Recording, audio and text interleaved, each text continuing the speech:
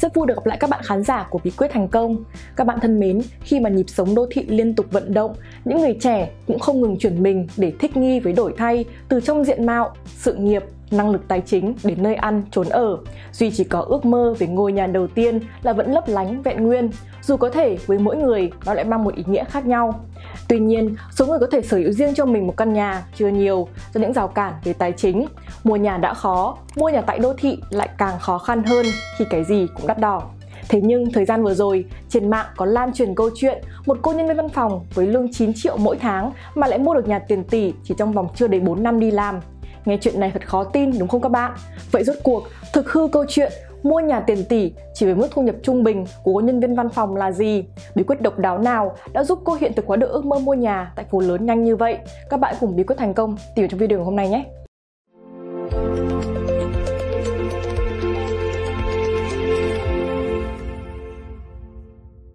Với mức thu nhập ở tầm trung bình, nhà phải đi thuê lại sống độc thân. Việc sở hữu một căn nhà riêng giữa lòng thành phố với nhiều người sẽ chỉ là ước mơ xa xôi. Cô nhân viên văn phòng đó là Ngọc Hoa, 27 tuổi, quê Ninh Bình. Hoa ra trường năm 2016, đi làm với mức lương khởi điểm là 6 triệu đồng.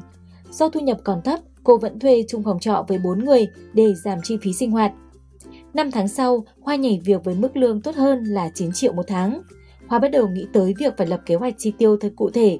Dù rằng lương không cao, nhưng cô nghĩ nhất định vẫn phải có một khoản để dành.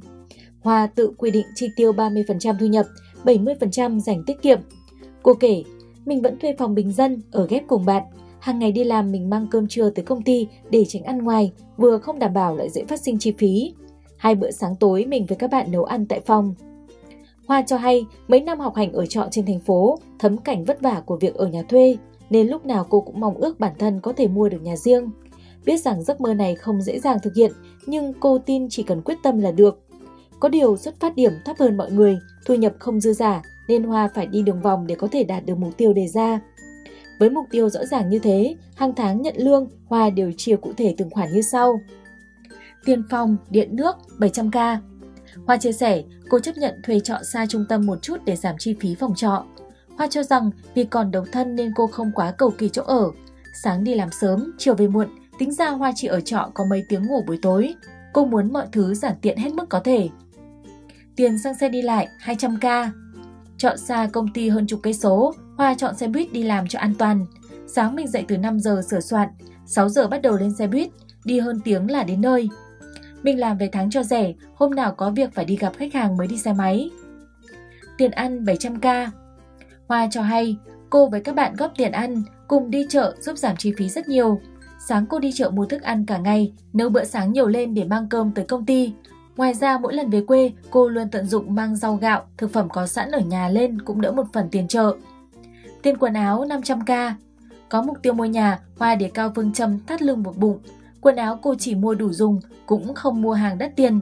Mỗi mùa cô nhân viên văn phòng này chỉ sắm 2 tới 3 bộ mới mặc đan xen với đồ cũ. Vậy nhưng cô vẫn cảm thấy rất thoải mái và tự tin với chính mình. Sinh nhật cưới hỏi 1 triệu, Cô kể rằng đang thanh niên nhiều bạn bè nên khoản tiền chi tiêu giữa quan hệ này mình không thể thắt chặt quá. Tuy nhiên mình cũng chỉ đi dự những đám cưới hỏi thật sự thân thiết, còn lại xa quá hoặc không quá thân quen thì mình gửi phong bì qua chúc mừng. Khoản tiền này mình luôn để cố định, có tháng dùng tới có tháng không, tiền thừa lại mình lại dồn vào tiết kiệm. Với mức chi tiêu trên, mỗi tháng Hoa dành ra 6 triệu tiết kiệm, thi thoảng cô còn nhận làm thêm bên ngoài cũng kiếm được. Số tiền này Hoa tuyệt đối không tiêu mà chuyển thẳng vào tài khoản ngân hàng. Trong vòng 2 năm đầu, tính cả gốc lẫn lãi Hoa đã tích lũy được 240 triệu. Hoa chia sẻ, cuối năm 2018, hàng xóm nhà mình có bán một mảnh đất gần đường làng với giá 360 triệu. Mình thấy vị trí mảnh đất đẹp, gần chợ, trường học nên quyết định vay thêm tiền bố mẹ mua mảnh đất ấy. Hoa tính với đồng lương ít ỏi của cô, nếu cứ để tích đủ mới mua nhà trên Hà Nội sẽ còn rất lâu mới thực hiện được. Trong khi đó tiền gửi ngân hàng cũng không được lời nhiều, sau đó cô mới đầu tư mua đất. Tuy đất quê lên giá không nhanh bằng đất thành phố, song đổi lại giá mua vào thấp. Sau này được giá cô bán cũng hơn để tiền ngân hàng. May mắn cuối năm 2020, đường làng dưới quê Hoa mở rộng hơn 3 mét, xe cộ đi lại tấp nập. Mảnh đất của Hoa thành mảnh đất mặt đường, Hoa giao bán được 880 triệu, cộng với 250 triệu tiền tiết kiệm ngân hàng, được tổng cộng 1 tỷ 130 triệu. Hoa vay mượn anh chị em trong nhà mua căn chung cư 1,4 tỷ, hiện cô đã dọn về nhà mới. Cô cho biết tuy hàng tháng vẫn phải dành dụng tiền trả nợ nhưng cô thấy rất vui vì bản thân đã tự mua được căn hộ riêng của mình. Cô chia sẻ thêm rằng nếu vẫn giữ nguyên tắc chi tiêu của mình, cô tin chỉ chưa đầy 2 năm nữa cô sẽ trả hết khoản nợ bố mẹ và anh chị em của cô. Cách bạn quản lý tiền bạc, chi tiêu và đầu tư tiền có thể có tác động sâu sắc đến cuộc sống của bạn. Tuy nhiên, lại chẳng ngôi trường nào dạy bạn những kỹ năng quan trọng này cả. Đây là những kỹ năng mà bạn bắt buộc phải tự học hỏi, rút kinh nghiệm trong cuộc đời của mình. Dù bạn có làm ra nhiều tiền hay không, cũng phải có cách quản lý tiền bạc hiệu quả. Cuộc sống có lúc thăng, lúc trầm, quản lý tiền bạc tốt sẽ giúp bạn đối phó với những giai đoạn khó khăn và không bị xa vào cuộc sống quá hoang phí.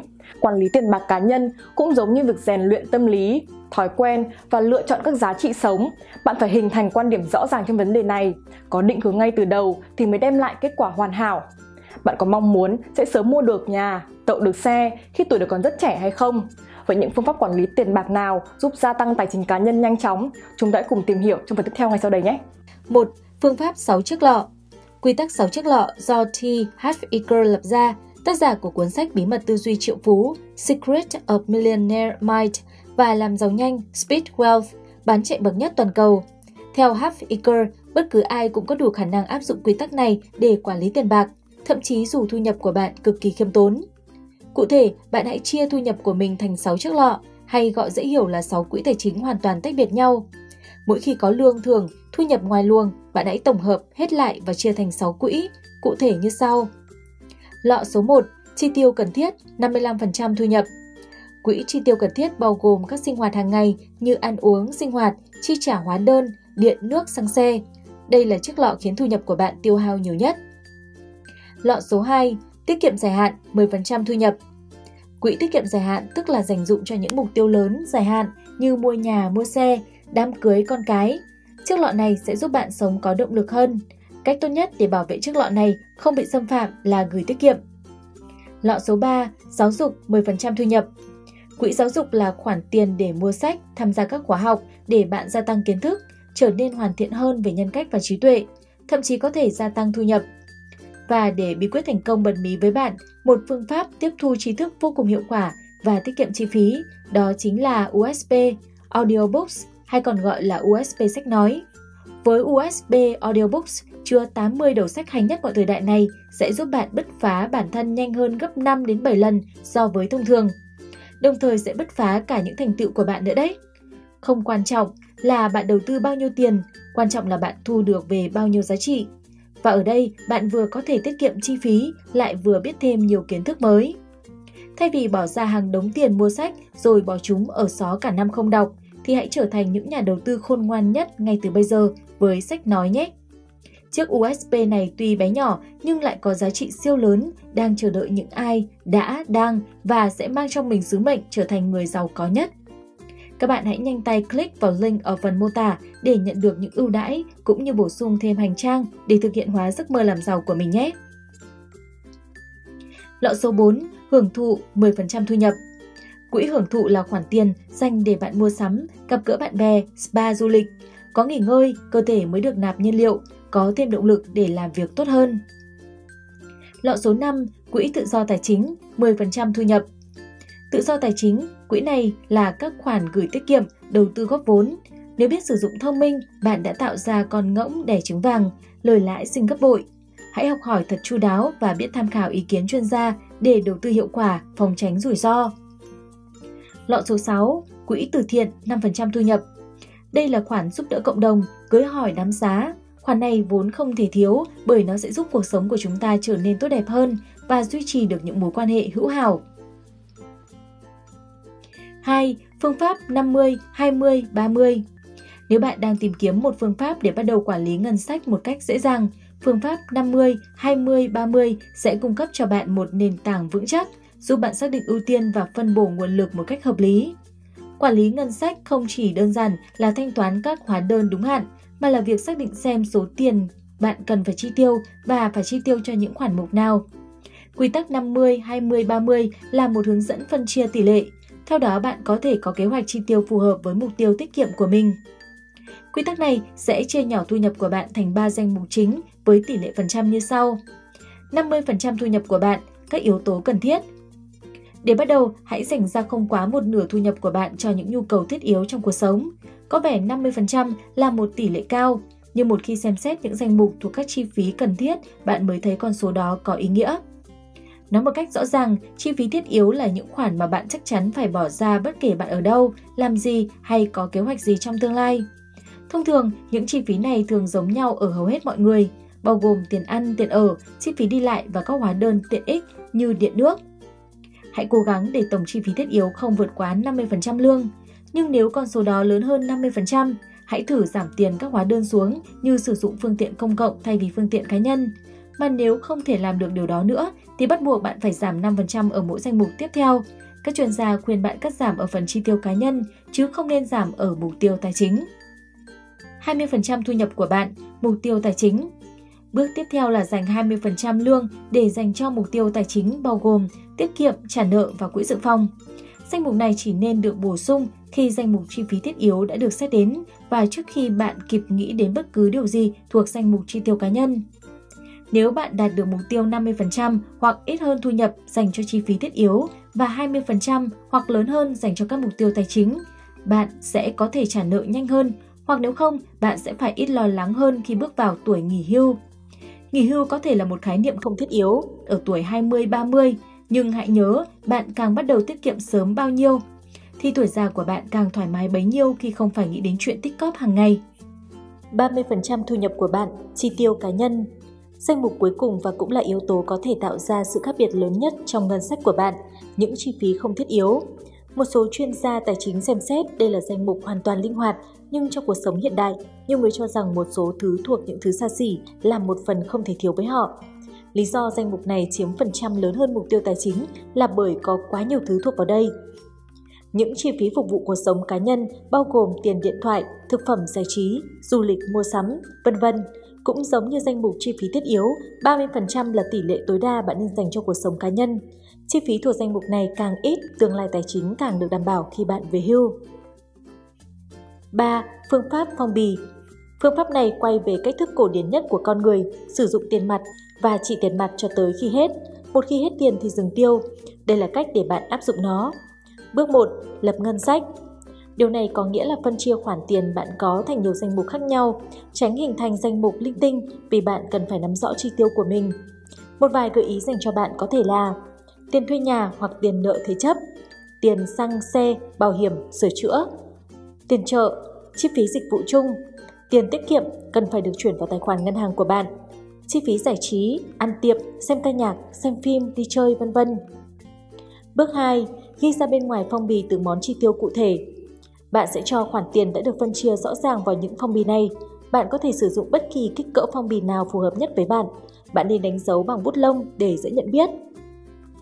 Bước 3. Chia nhỏ thu nhập của bạn và cho vào từng phong bì khác nhau. Tất cả mọi danh mục mà bạn cần phải chi tiêu từng chút một có nghĩa là không phải thanh toán toàn bộ cùng một lúc và phải được thanh toán bằng tiền mặt. Bạn có thể để chống phong bì tiền thuê nhà, tiền nợ thế chấp hoặc bất kỳ một khoản chi phí nào mà bạn cần phải thanh toán bằng chuyển khoản. Hoặc bạn có thể viết một tấm giấy và cho vào phong bì. Các phong bì còn lại cần phải có tiền mặt bên trong. Ví dụ, nếu ngân sách tiền trợ của bạn là 3 triệu cho đến kỳ nhận lương tiếp theo, hãy cho 3 triệu đồng vào phong bì tiền trợ bạn có thể dùng bút chì để viết vào mặt sau của phong bì số tiền bạn đã bỏ vào. Phương pháp này sẽ giúp bạn rèn luyện cách duy trì sự cân bằng. Bước 4. Rút tiền từ phong bì dành riêng cho danh mục cụ thể để chi tiêu khi cần. Tính toán số tiền còn lại và viết nó vào mặt sau của phong bì để có thể nhanh chóng xem lại nó. Nếu bạn tiêu hết tiền cho một danh mục nào đó, bạn có hai phương án.